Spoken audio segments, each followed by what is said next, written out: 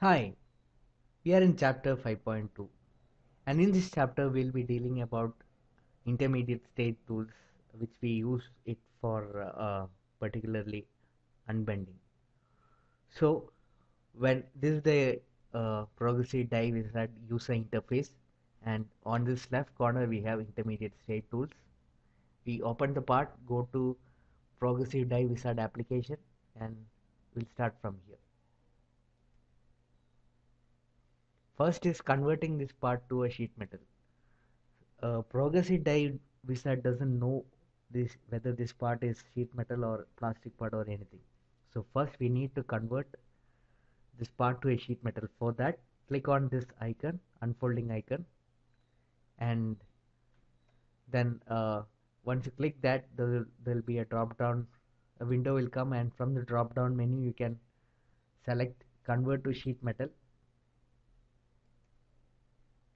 then in second stage you need to specify uh, the base phase of uh, the part and progressive die wizard will automatically calculate all the bends in it and it will automatically tell you what is the radius you have provided what is the angle you have provided what is the k factor what is the developed length for that.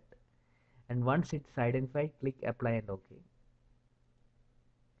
next is to define intermediate stages so to do a, to develop a part from the component to a flat blank, there sometimes there will be a intermediate stage.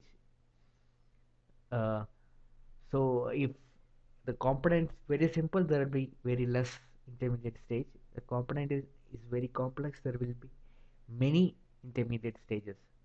So to define that intermediate stage, you have to click this icon and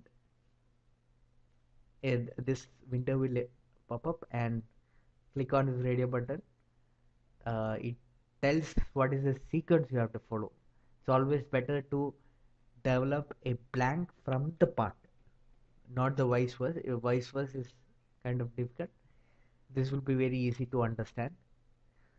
And you have to define what is the number of intermediate stages you want to uh, have to develop to completely unbend the component and get a flat blank start station. We have to define the pitch and define the orientation here. Uh, based on the grain direction you can always define this orientation. Once it's done click apply and ok next is unbending. So this is the icon. When once you click that icon you will get this window. From that you have to select unbend and you have to select which intermediate stage are you going to unbend and when you select the intermediate stage select the uh, bend that is the radius and click apply and ok and it will automatically unfold. I'll explain you this using UG